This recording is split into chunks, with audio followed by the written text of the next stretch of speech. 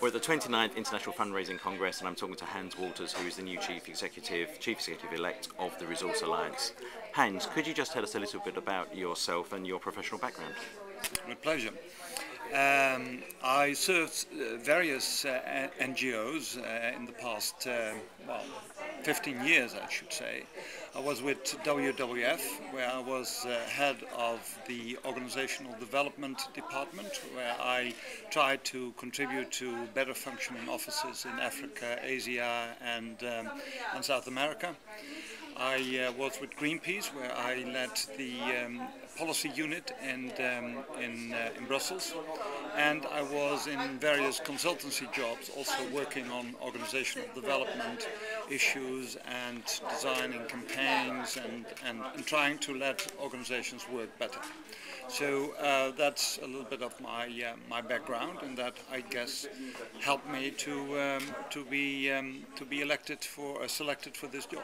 So what was it about this job, working at the Resource Alliance, that when you um, were aware of it, made you think that's the job for me? What, what why did you go for this job? Well, I, I, I think it's the multiplier effect that the Resource Alliance can bring. It's of course uh, one. I, it, it's uh, the non-profit sector is very close to my heart. This uh, Resource Alliance is of course a, a facilitator for all kind of civil society organizations to raise funds to stabilize their financial future. And it's a great opportunity to help these organizations to do better, to secure themselves, to, to have the resources they need. And uh, the great thing about the Resource Alliance is that we have a, a network of, of specialists in all kind of fundraising fields who can help those organizations. So if we succeed in bringing the best available tools to organizations, to NGOs all over the world, and certainly in the global south, then I think we can really add value. No, you haven't officially started yet, have you? November the 2nd, is that? That's, uh, right. that's correct. I'm So- just here an observer and a participant in this wonderful uh, conference. But presumably you have some ideas about what you want to do and your in your tenure as chief Otherwise, I executive. probably wouldn't be selected for the job. So what can you set out in broad terms some of your um, ideas, broad ideas for, for, for the next couple of years of, uh, of the Resource Alliance? Yeah. What you would like to achieve and maybe change as well? Uh, well, uh, we shouldn't change things which are wonderful. So the IFC is an organization, is, is, is a conference which is a, a, a global leading conference. And everyone is very enthusiastic about it, and it's really cutting-edge expertise that, that people can, can, can find here. So the IFC, I think, we shouldn't uh, change. Of course, we will adapt it at new circumstances. We will maybe diversify the, the offer, but uh, I mean, basically that needs to, to, to, to, to stay the same. Where we can uh, change is, I think, that we can diversify also the kind of seminars, the kind of trainings, the kind of consultancy services that, that we make available.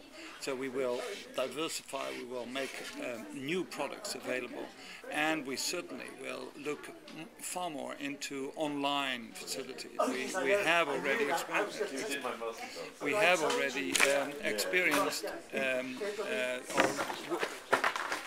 we have already worked uh, with online um, experiments and we will certainly develop those further and make them all also more easily accessible for, uh, for, for organizations. So that's certainly something that will develop in the near future. What do you think are some of the challenges facing um, fundraising organisations in the developing world are that the um, Resource Alliance can help with? Well, uh, in the in the, the current economic and financial circumstances, of course, every uh, NGO, every non-profit uh, is faced with this this challenge to to to to get the funds they need. So we have to be more sophisticated. We have to be even smarter in getting access to those funds. At the same time, we see that many donors are still excited and committed to the causes.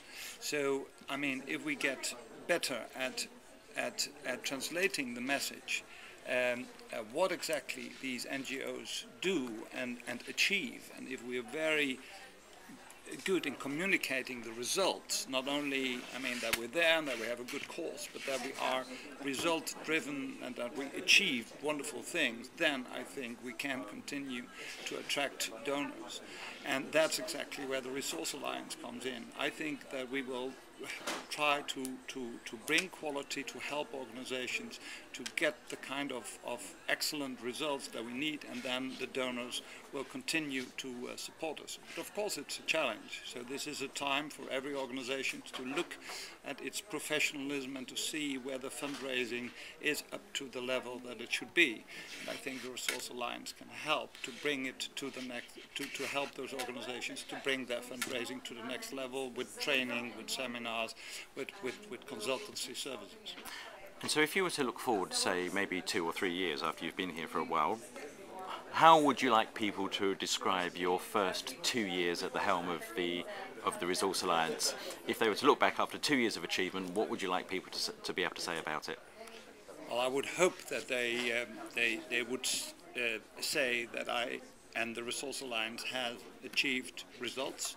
I hope that they will still come to the IFC and feel inspired and excited by, by the kind of, of, of uh, conference that we organize. And I would also hope that they, they, they see that leadership can help to, to, to, uh, to achieve wonderful things. And, and I hope to be the kind of leader who, who will be able, together with its team, to, uh, to bring the organization to its next level. Hans Wolters, thank you very much. A pleasure.